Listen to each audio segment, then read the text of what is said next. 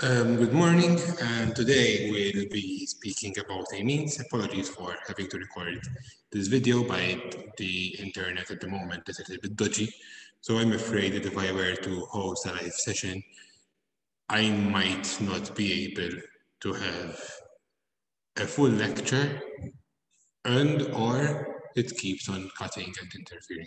So I do think that this is the best option. It's going to be a two-part series, part A and part B. And because I only have two half an hour time slots where I will be uploading the first, first the first part and whilst you are listening to this first video, you should then get an upload for the second video as well. Okay, so today we're gonna speak about amines and their derivatives or at least we're going to start this chapter, okay? A brief introduction, and then we are going to spend the next three to four weeks going into a bit more detail about the mechanisms, reactions, why they're important, where we use them. Um, and if you have, if you do have any questions, please do not hesitate to send me a message, send me an email, and ask me. Okay, I will be available even even during the time slot where we have the lesson. Okay, so don't worry about not being able to ask me questions. Stop the video, send me a question, and I will be able to answer immediately. So, amines they are all around us, okay? And therefore, because they are very found in nature, then we would, should be able to replicate them, okay? One of the probably the most common amine that you might be used to is ecstasy. Okay, not not hopefully you're used to because you use them, but you're used because you've heard a lot about it. Okay, um, but then you also have adrenaline, which is very important, and especially in scare situations. For me, these scare situations would have been speaking to a girl my age who I would want to date, and I used to have a rush of adrenaline and probably go running away from the situation okay? But there are a number of different structures. Probably now, penicillin is one of the most important substances in the world. Yes, penicillin will not kill COVID, but antibiotics can be used if you have complications. Okay? So, in industry, we can use amine and amines and nylon. Okay, and in fact, nylon is an amide bond. It is an amide bond. This is a reaction between an amine and the hydroxylic acid.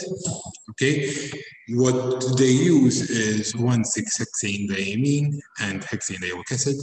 It's better than using the 6 amino hexanoic acid, okay, because that will polymerize on itself on its own, and here you need to mix the two items together first. Apart from that, even the chain length would be a little bit different, but the, even that depends on the condition, that depends on a number of items, okay? And this is nylon 66. So how about naming? So naming is not that difficult, okay? As long as you do it properly. So if you have a primary amine, the amine goes at the end of at the end, okay? Especially if you have a primary amine and the amine is dual substituent. The amine will go at the end, and then you simply add methyl. For example, if you have methanamine, one methyl. So it's not an ine. So you've named the part, the, the alkyl chain, but instead of having the normal ine, it's an an. Okay? The an, the an also represents that you have an alkene. So if you have an alkene, there's gonna be an in, and you might also want to write where that in is. So for example, let's go with the namings. The example here or the primary amines. Met, so this would be a methanamine. Here we have two methyl propyl. So that will be 2-methyl, 1-propan-amine. Now that one is very important because that one will actually give you the position of your group. That one will tell you your amine group is on carbon number one, could have also been on carbon number two. Okay, here we have trans you've done the naming as well, so it's an R. So it's R trans 3 pent in to amine. So the amine group is number two, the double bond is number three.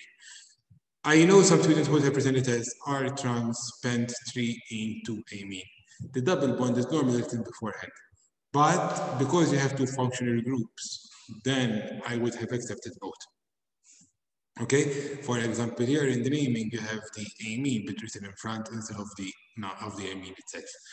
I don't mind whichever one you use, as long as it's clear which one you're recording. Okay, and then you have benzenamine.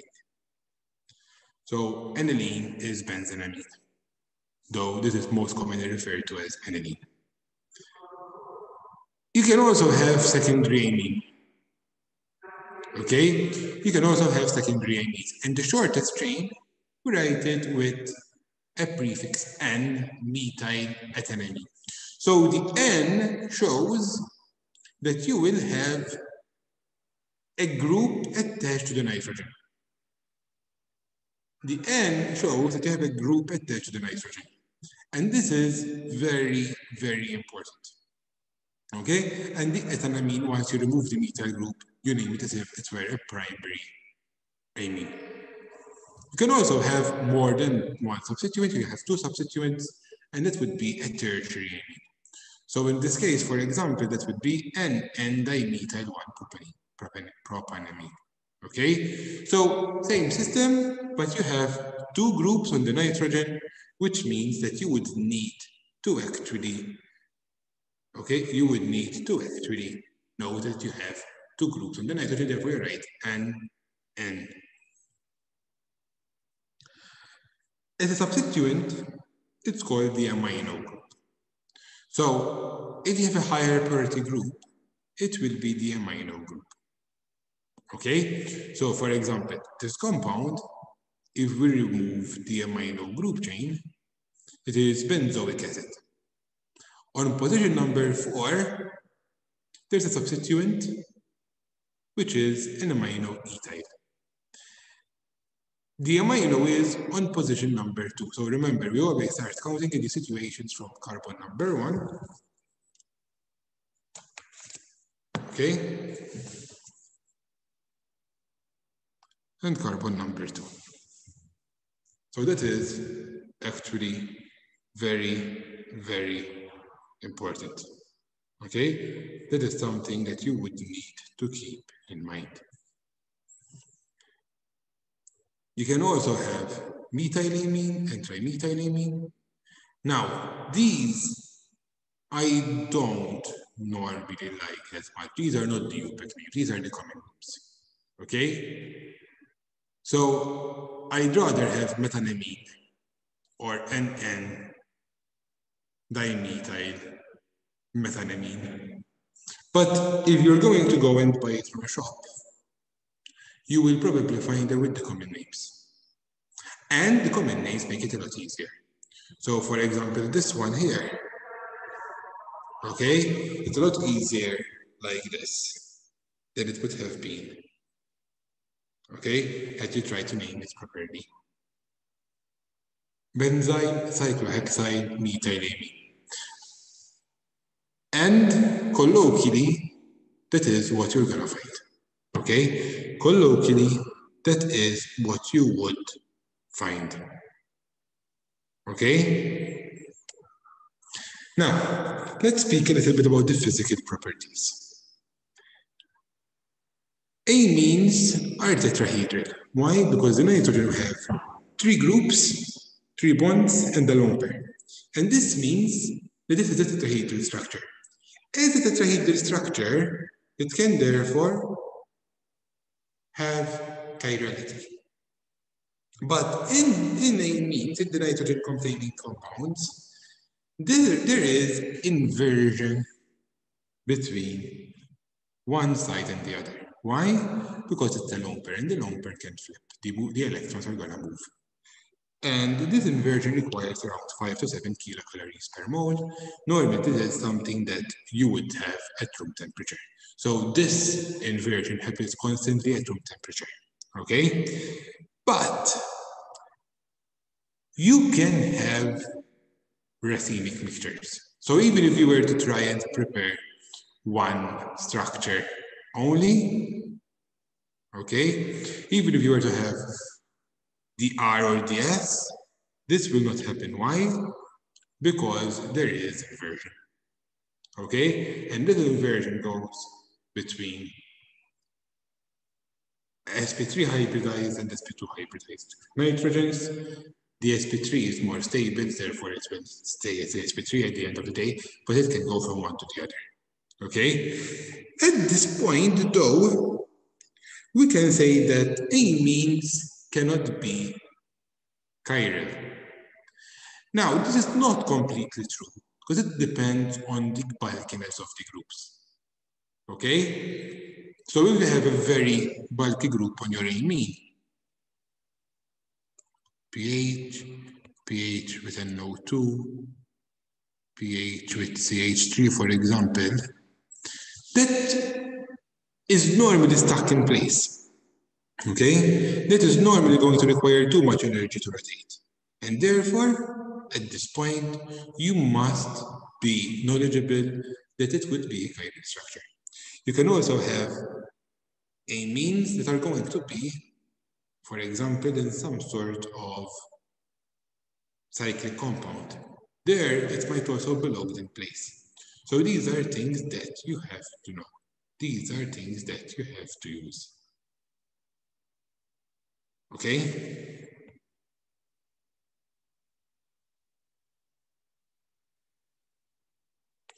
Now, basicity, amines are basic. They have the lone pair of electrons, and these are can, can be easily donated. Okay?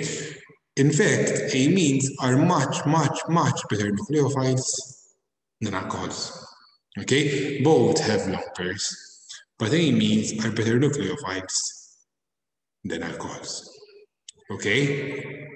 And the reason for this is that this, pair is highly available.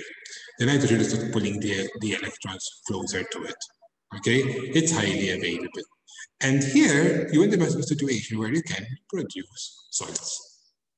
If you're going to compare primary amines versus secondary amines, okay, secondary amines are going to be a lot more nucleophilic.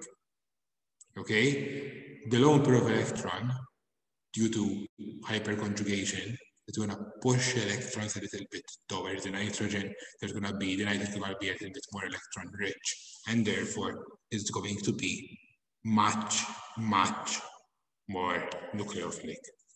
If we were to go to tertiary, tertiary, the, the nucleophilicity will decrease because in territory A means you will have some repulsion. You will have some steric hindrance. And this steric hindrance will stop the quaternary salt from forming. It will still form, but it's not going to be as easy as with primary and secondary. Now, ammonium salt, salts are config configurationally stable. So ammonium salts, they can form chiral compounds. Okay? As we've said before, you can have racemization of tertiary amines, but as soon as you add the quaternary salt, this is going to be a fake in shape. This is actually going to form an ion if it's in a, an organic solvent, that's will normally crystallize out. These two racemates, this racemate, okay, these two enantiomers can then be resolved by something like fractional distillation, uh, fractional crystallization. Or you can use chromatography. It has to be specialized, okay? Or normally you don't really, you might not really care about whether you have the R or the S. Okay, but if, if separation is important, normally first you try to crystallize, Okay, so it doesn't have, doesn't work. There are a number of different means. This is something that for those who would be sitting for synthetic organic, organic chemistry, you will be discussing this a lot more detail in that module. Since nitrogen is less electronegative than oxygen, nitrogen will have weaker hydrogen bonds than OHs. And this gives ammonia a boiling point of minus 33.4. Now, this boiling point is still much higher than what you would expect without the hydrogen bonds. Okay, so that is something that we still need to keep in mind. Because normally, let's say methane, okay, let's speak about methane. Methane has a boiling point of minus 161 degrees. Okay? Methane has a boiling point of minus 161 degrees. So if you were to compare ammonia and methane, very similar masses, okay? Methane is 16, ammonia is 17. So they should have very similar boiling points. But this is going to be much higher. Why? Because of hydrogen bonds. But compared to water,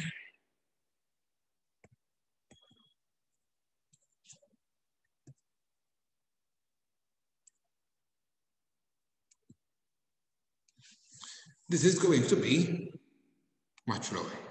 Okay, so we can see that the electronegativity plays a massive important role whether something is going to be have a high boiling point or a low boiling point.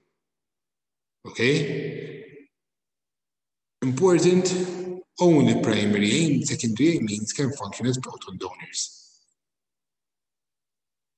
Because to be a proton donor, you must have a proton. Hopefully that is understandable.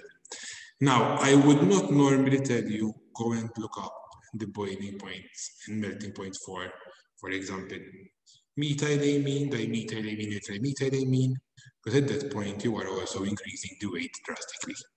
So the trends might not be as crystal clear as you would expect. Okay, so don't do that.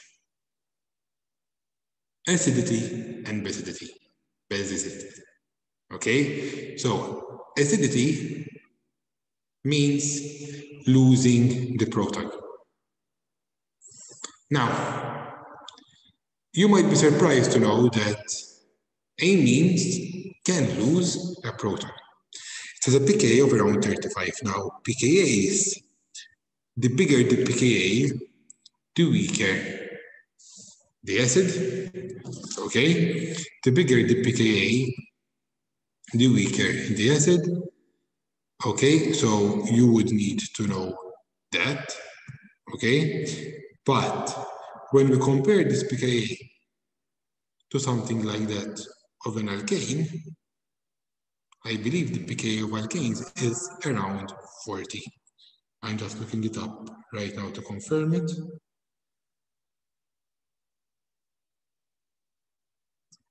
Alkanes is around 50, alkenes is 43, alkynes is 25 pKa's. And remember, between pKa 50 and pKa 49, it's going to be at times 10.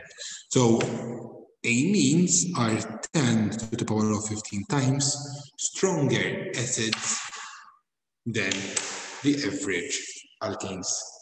Now, this is something that you have to keep in mind. Why? Because if you are adding an acid, oh, if you are adding a very strong base, you can deprotonate the amine before you deprotonate your alkane. Okay? But it is a weak acid.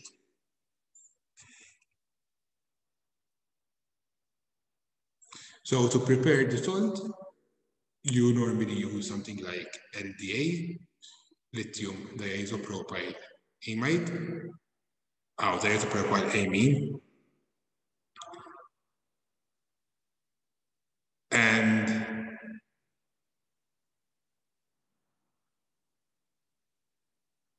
this is a very, very strong base. Okay, this is a very, very strong base. And this will then be actually a bit to extract pretty much protons form from most, most acids. They have to be acids that are weaker than itself in order not to be able to extract it from them. Because remember, the conjugate base is going to be inversely proportional in strength to the acid. So here, in fact, even to prepare it, we use a salt of an alkane. Okay? Um, this is butyl lithium. Now, butyl lithium is a very, very strong base. In fact, it's one of the strongest bases that we know of. Why? Because it is the base, the conjugate base of a very weak acid, an alkane, butane. And therefore, because you have this conjugate acid, now the, the acid being very weak, the conjugate base would be very, very, very strong. In order to prepare sodium amide, sodium amide, you can do it with sodium and ammonia you use Fe3 plus and the sodium will interact, okay, and take one proton from each ammonia and form the amide. Again, this is a very, very strong base. base. Okay, so pay attention whenever you're using these. They have to be, for example, in inert conditions. Why? Because if they are not, if they are not in inert conditions, they will react with the water in the air. Some of them, for example, butyl lithium, might even burn in air. Okay? It might burn because it's to going to have some energy to react with the water in the air. That produces an exothermic reaction, which can then react the butane that you're producing, you have an alkane chain there with oxygen. Okay, and you start a fire. And it's very difficult to stop. And if you have butyl lithium, the one thing you should never add is water. Okay, cover it and let it, if still you have a fire, cover it, let it burn under a sheet, okay, under a blanket, for example, or you can use fire extinguishers, especially ones where you have CO2, okay, or, but never water or sand, and call for help. Acidity is then something a little bit different for the ammonium ions because the ion will want to lose the proton and in fact and in fact this would have around pKa of 10 okay so the ions will want to lose the proton so these are again these are the conjugate acids of a weak base Now, you might tell me, but why is the pKa not going to be higher? Let be one or two, because they will want to lose it completely. Ammonium salts do exist, and ammonium salts are very stable. So do expect, do expect that they're to have something there. Okay, they're to be around 10. They're not weak, weak. They are just simply a weak acid. Okay, so it's something where in solution it will give you some H plus, but it will not fully dissociate. And if you're going to compare the ammonium ions, you have ammonium on its own, it's 9.24. So it's the best acid. But as you increase the steric hindrance, or as you increase the methyl groups, First, the pKa increases, meaning that it's becoming a better base, okay? Or the conjugate base is a better base, so it will keep the H+. plus. But once you have too much steric hindrance, you have three methyl groups, then the pKa decreases again, okay? So the H plus is pretty much pushed out. Literally, it is pushed out. If you have an alcohol and you protonate an alcohol, okay, because alcohols, they want to be as an ROH, they are much weaker bases. You would have a pKa of around minus 3. That H plus is very easily lost. And with pKa's, You might not be familiar with the scale, but it doesn't go to zero. It can go to very, very negative numbers. If you have pKa's of something like HI or H, HI is minus 10, HBr is minus 9, HCl is minus 6, sulfuric acid is minus 3. So something that is a protonated, protonated alcohol would be as acidic as sulfuric acid. But then it's very difficult to actually keep it there. Okay, so it's very difficult to prepare a solution of protonated ethanol. Carboxylic acids have around pKa of around 4. Okay, protonated means between 9 and 11. And then water would have a pKa. I have it listed here as 14. Alcohol is 17. So we can see that here it's going to be something where these values you do not need to know. Just need to know which is stronger or weaker. Okay, so the smaller the number, the stronger the acid. For pKb, it would be the same thing, Okay, but remember PK and PKB, they are not, I mean, they, they can be related in water, but normally we find them separately. So the basicity decreases when the lone pair is less available. So if the lone pair, we have groups that are going to be pulling electrons away from the um, pair, that means that it's gonna make a weaker base. If it's a weaker base, it's gonna be a stronger acid, and we can see the